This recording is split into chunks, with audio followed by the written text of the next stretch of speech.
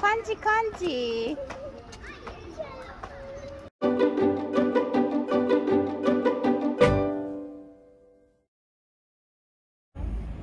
Hi guys, how are you? I hope you're doing great. Um, it's been a while since I last did this particular type of conversation with you. Well, today I'm going to talk about the reasons as to why people divorce. In uh, why do we see most couples divorcing or most couples separating from each other? Why do we see most couples separating from each other? Well, before I start, this is kind of my favorite spot in this whole apartment area. So um, today, basically going to look at the reasons as to why people divorce or why they don't stay long longer with each other yet they make vows. One of the reasons is um, social class. And sometimes couples think they're better than others, you know.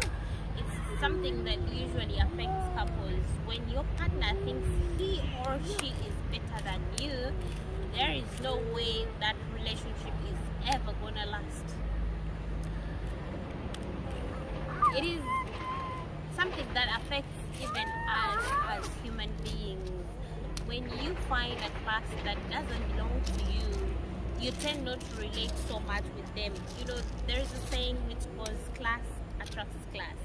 So if you do not belong to a certain type of class, you are not going to be, you know, part of those kind of individuals or part of that society. Another reason is um, lack of communication. You know, communication is very important in each and every relationship.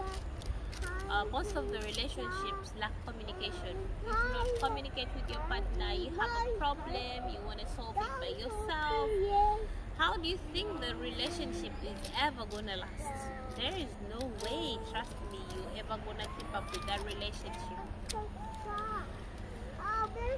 Another reason comes in lack of sex, lack of intimacy.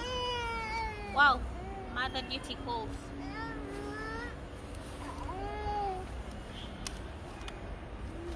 Okay, I will do this one with you now.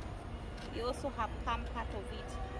Lack of lack of, with lack of intimacy. When there is no sex in each and every relationship, it won't last. You know, there is that kind of connection sex brings in a relationship. Even after every, I mean, even after an argument and you have sex, oh, the the the anger concedes to go away. Uh, you feel fresh. Everything is refreshed. So it is very important for couples to have sex in a relationship to keep together, not to divorce. Another reason is okay. Mother duties were calling for me. Um, we we finished with um, lack of intimacy. Uh, the last point is um, oh, we finished with intimacy. The last point is um, domestic violence. Well, domestic violence comes with a lot of um, things that accompany it. Uh, under domestic violence, we cannot have arguments as part of domestic violence because for every couple, there is a certain level. Of, wow, sorry about that. There's some construction going on in the neighborhood. So, I was saying, lack of um, domestic violence is uh, we cannot categorize arguments under domestic violence because it is very normal for all couples to have arguments, although to a certain limit. It is not healthy for you to have arguments from morning to evening, from night to morning. It is just, you know, a certain limit of arguments as a couple can have. You don't have, um, if you, you do not have arguments as a couple. It is not normal. So every couple has to have arguments. But domestic violence is something else. So domestic violence also can lead uh, couples to divorce. In other words, or in my conclusion, I would say if you are a couple and you are facing any of those red flags, it is better for you to look for counseling advice.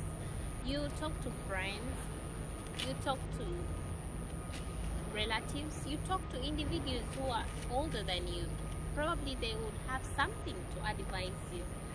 And this closes today's conversation. Bye bye. See you in the next one. Love you. Say bye bye to the camera. Oh, my kids are so good. They've been so good throughout my entire talking. They didn't make noise. They're so good. You're so good. Eh? Say thank you to the camera. Bye bye.